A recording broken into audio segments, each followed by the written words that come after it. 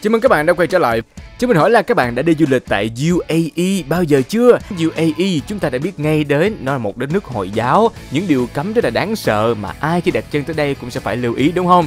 Vậy thì đó là những điều cấm nào đây ta? Ngay bây giờ hãy cùng To Be Today khám phá 10 thứ bị cấm kỳ lạ và đáng sợ nhất ở Ả Rập khiến cả thế giới phải sốc nặng các bạn nha.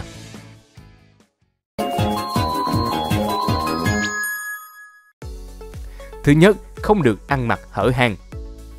Các bạn ơi, tại đất nước chúng ta hay là một số quốc gia trên thế giới khác á, thì phụ nữ có thể thoải mái ăn mặc những chiếc áo hở vai, những chiếc váy ngắn khoe đôi chân dài miên man hay là những trang phục mát mẻ, sexy mà chẳng bị ai để ý hay là phán xét đúng không? Nhưng đối với các tiểu vương quốc Ả Rập thì không được các bạn nha.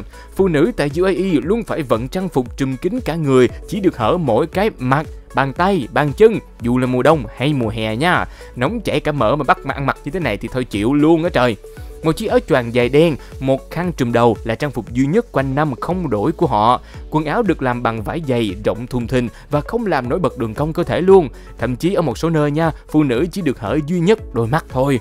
Một điều đáng buồn nữa các bạn, đó là nếu bị một người phụ nữ bị cưỡng hiếp, cô ấy có thể bị kết luôn tội rằng trang phục không đủ kính với quy tắc. Tại đất nước này thì bất bình đẳng giới vẫn đang xảy ra, phụ nữ UAE luôn bị ràng buộc bởi hàng loạt các điều cấm vô lý. Mà tôi chắc chắn là khi các bạn xem xong các bạn sẽ phẫn nộ thay cho họ luôn đấy. Tiếp theo nha, một điều cấm mà khi đến đất nước này các bạn phải hết sức là lưu ý. Thứ hai, cấm chụp ảnh người dân. Ê, lạ ha. Khi chúng ta vô tình chụp được một bức ảnh của người lạ nhưng lại có ấn tượng vô cùng sâu sắc vì họ, vì quá đẹp trai hay là quá xinh thì chúng ta có thể đăng lên Facebook để mà nhờ cộng đồng mạng tìm kiếm thông tin đúng không các bạn? Nhưng điều này cũng khá là bình thường ở Việt Nam và một số đất nước khác thôi. Thì tuy nhiên tại UAE bạn sẽ phải đối mặt với án phạt, thậm chí là ngồi tù vì điều này nha. Nếu như công khai chụp ảnh người lạ ở UAE mà không được cho phép khiến du khách có thể bị phạt 500.000 dirham tức là hơn 3 tỷ đồng và 6 tháng tù giam nha các bạn. Điều này còn đặc biệt áp dụng cho những bức ảnh được đăng trên phương tiện truyền thông xã hội vì người dân có thể để đơn kiện nhiếp ảnh gia đấy. Sự việc sẽ càng trầm trọng hơn nếu như nhân vật trong những bức ảnh đó là phụ nữ. Thế nên, anh em nào đến du lịch tại Ả Rập thì nhớ lưu ý về hướng máy ảnh của mình nha. Chụp cảnh chứ đừng chụp người kẻo mất tiền oan đám đấy. Điều cấm chụp ảnh tiếp theo cũng sẽ cần phải ghi nhớ đây các bạn. Thứ ba, cấm chụp ảnh ở một số địa điểm. Tất nhiên rồi, nhập gia phải tùy tục thôi. Khi đến với một đất nước, bạn nên lưu ý những nơi không được phép chụp ảnh để tránh gây ra những hiểu lầm đáng tiếc nha. Đặc biệt, khi chụp ảnh ở các tiểu vương quốc Ả Rập, tốt hơn hết là bạn nên chỉ tập trung vào các địa điểm du lịch và cảnh đẹp thôi. Đừng có dại dột mà mò vào chụp những cảnh tai nạn xe hơi hay là các tòa nhà chính phủ hay là đại sứ quán hay là các căn cứ quân sự, thậm chí là cả máy bay cũng không được chụp nha. Điều này được coi là bất hợp pháp và bạn sẽ phải đối mặt với pháp luật tại đất nước này đấy. Thêm nữa, nếu như bạn dám đưa những hình này lên mạng thì coi như xong, bạn sẽ không còn đường trở về nhà nữa đâu, nhớ nha. Tiếp đến, một điều cấm liên quan đến rượu bia mà các bạn cần phải biết đây.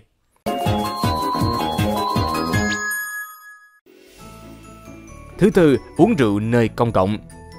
UAE là đất nước giàu xếp thứ 9 trên thế giới nha các bạn, nên đồ ăn chơi và xa hoa phải gọi là đỉnh của job luôn á chứ. Đây là nơi nổi tiếng có nhiều quán bar và câu lạc bộ phục vụ rượu, đàn ông có thể thỏa thích đến nhậu nhẹt. Tuy nhiên thì một điều quan trọng là bạn ở UAE không được phép uống rượu bia tại nơi công cộng đâu. Điều này có nghĩa là bạn không được mang bia rượu đến bãi biển, công viên hay là xuống đường phố nha. Một điều thú vị nữa ở đất nước UAE đó là chỉ những người có giấy phép về rượu mới có thể mua chai rượu. Mặc dù tuổi uống rượu hợp pháp ở đây là 21 tuổi, nhưng không phải ai cũng có thể mua được một chai rượu whisky ngon đâu nha. Để mua được rượu trong các nhà bán lẻ, mọi người phải là chủ sở hữu giấy phép rượu.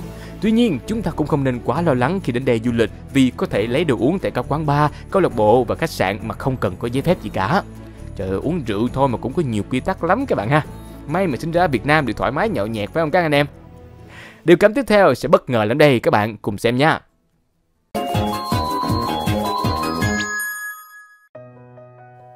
Thứ năm, cấm mua hàng fake. Những ai đã từng xem qua bộ phim Sex and the City 2 hẳn sẽ biết đến việc du khách không nên mua hàng pha ke, hàng giả ở Dubai rồi đúng không? Đặc biệt hơn các bạn khi đến thăm khu Gold and Spice Soak tại đất nước này nha, bạn sẽ thường được chào bằng những lời ngon ngọt, dụ dỗ mua túi Chanel hay là đồng hồ Cartier nghe có vẻ hấp dẫn ha. Hơn nữa chúng nhìn thiệt là sang các bạn, đẹp mắt nè, lại còn giá rẻ. Nhưng đừng có vội mừng vì toàn đồ giả thôi đấy. Bạn có thể gặp rắc rối không đáng với các nhà chức trách nếu bị bắt gặp đang mua chúng vì mua hàng nhái được cho là bất hợp pháp ở đất nước này nha. Gặp trường hợp này thì chỉ cần phớt lờ và đi thẳng thôi là được. Tiếp đến, một luật cấm cũng khá là hay ho đây.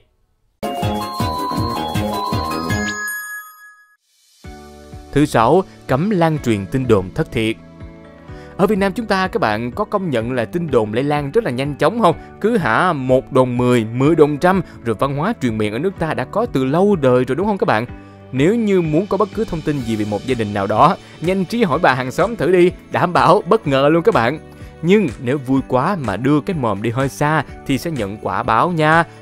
Câu nói họa từ miệng mà ra rất là đúng với luật cấm này của đất nước UAE, cấm lan truyền tin đồn thất thiệt. Việc tung tin đồn ở UAE là bất hợp pháp và nơi này đã áp dụng bộ luật riêng dành cho tội này đã từ rất là lâu rồi nha.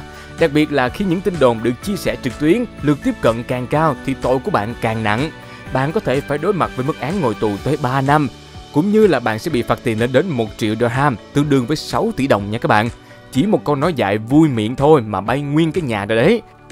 Và nếu như chúng ta không muốn ngồi tù mọt gông thì phải nhớ là giữ gìn cái miệng của chúng ta các bạn nha. Điều cấm sau đây đảm bảo sẽ khiến bạn phải ngã ngửa luôn nè. Yo!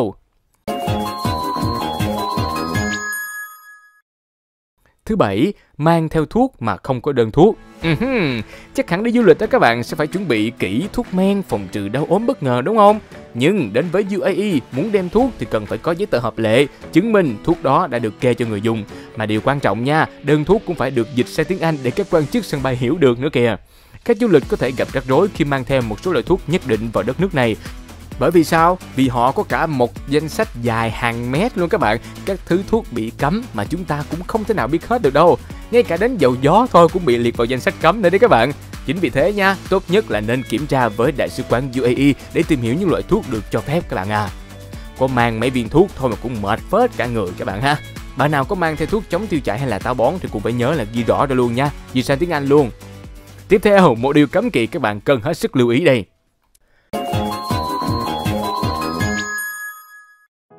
Thứ 8. Ăn uống ngoài hàng quán trong tháng Ramadan Tháng Ramadan thường rơi vào tháng 9 trong âm lịch của người Ả Rập đấy các bạn. Trong tháng lễ linh thiêng của người theo đạo hồi này á, họ sẽ ăn chay từ lúc mặt trời mọc cho đến khi mặt trời lặn xuống mỗi ngày. Để thể hiện sự tôn trọng nha, hầu hết các nhà hàng sẽ phải đóng cửa, che rèm trong những giờ đó. Đất nước này nghiêm cấm bất kỳ ai ăn, uống, nhai kẹo cao su, thậm chí là hút thuốc ở những nơi công cộng trong thời điểm lễ Ramadan. Vì điều đó được coi là vô cùng thiếu tôn trọng luôn. Tuy nhiên thì quy tắc này sẽ không áp dụng cho trẻ em hay là phụ nữ mang thai đâu nhá. Mỗi đất nước lại có một nền văn hóa tín ngưỡng khác nhau nên khi đặt chân đến đây các bạn phải nhớ tuân thủ theo quy tắc này của họ nha. Tiếp đến, một luật cấm sẽ khiến bạn phải há hốc mồm luôn đây. Thứ 9, cấm nói bậy chửi tục. Ở Việt Nam các bạn nói bậy chữ tục diễn ra như cơm bữa là chuyện thường ngày ở huyện rồi. Nhất là đối với các thanh niên trẻ trâu trẻ nghé chính hiệu Luôn có những câu nói bậy đi vào lòng đất các bạn ha. Vui cũng chửi, buồn cũng chửi, lúc tức giận tất nhiên là nó chửi rồi. Chúng ta có thể nghe loáng thoáng tiếng chữ thề ở những con con ngách nè, những xóm nhỏ nè hay là vùng nông thôn đúng không? Đối với người Việt của chúng ta, đó là điều hết sức là bình thường. Nhưng đến với tiểu vương quốc Ả Rập, đây là một điều cấm kỵ luôn nha không được phép sử dụng các câu chữ thề tại nơi công cộng ở đất nước UAE hay là uống lưỡi 9 lần trước khi nói. Đặc biệt là các ngôn từ thô tục xúc phạm, lăng mạ người khác sẽ khiến bạn gặp rắc rối lớn nha. Điều này còn bao gồm các hành động chỉ tay vào mặt hay là giơ ngón giữa nữa nha các bạn. Thế nên là tém tém, bình tĩnh lại nếu không muốn bị mấy anh cảnh sát cao to đen hôi bế về đồn đấy nha. Mà chắc chữ thề bằng tiếng Việt thì các anh cảnh sát cũng đâu có hiểu các bạn ha. Ok, chửi được, vô. Các bạn nghĩ sao về điều cấm này? Hãy comment chia sẻ cho tôi biết chứ nha. Và điều luật cuối cùng sau đây đảm bảo các cặp đôi yêu nhau sẽ xanh mét mặt luôn.